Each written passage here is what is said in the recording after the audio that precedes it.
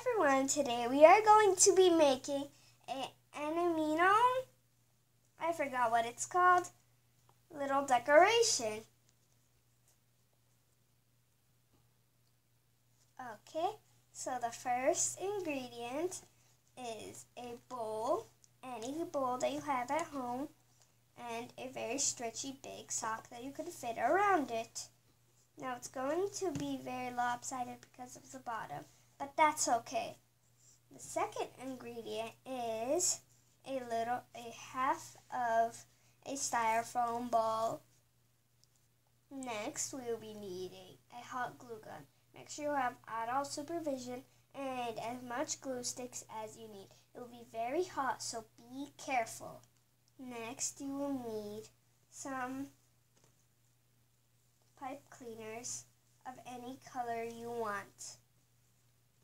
You will be twisting them like this and then making a little hoopy. You're going to stick the hoopy into the styrofoam ball. We will show you how later. Next, you need scissors. Now for the project. Now, we're going to be getting the hot glue gun and gluing it around the sock. If you guys want to, you can just put it in here because that's just wasting glue if you're trying to um, glue it on there and it should be inside to make it a bit short, not that tall because sea anemones, anemones are not are, are not that big. What that means? So, you have to take your little pipe cleaners and stick them in. I said you have to put the loop in. I... So, you're gonna do that one by one. If you don't feel like doing this, just making so much holes, um, you can just take a bunch of hot glue, squeeze it on there, and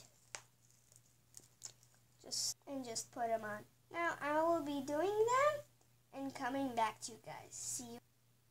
So this is the final project.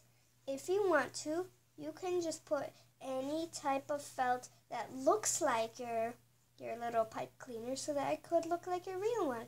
Now this looks kind of like coral if you see that it kind of looks weird from the inside over here, you can just put some fabric or felt around it so it looks a bit better. So that's what I did. Now, if you want to, you can just try to make them all the same color if you want to make it more realistic. Now, as you can see in the background, I have these. If you have longer ones, I don't know what they are. I just found them somewhere in my crafting boxes. So if you have longer ones, they're probably from Dollar Tree. You can just glue them on or yeah, glue them on so it looks like kind of a real sea anemone. anemone. And so I wanted to put a bit of them on the ground of it. But then it looked kind of weird, so I didn't. We might use these for a future craft. Now, this is the end. Goodbye. So, this is kind of a weird end card, but don't forget to subscribe and like the video. Hit that notification bell to receive notifications from my channel. And goodbye for real.